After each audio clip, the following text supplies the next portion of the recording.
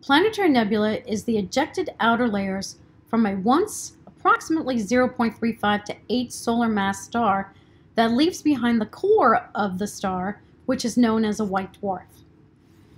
So this is the planetary nebula. Notice how bright and colorful it is.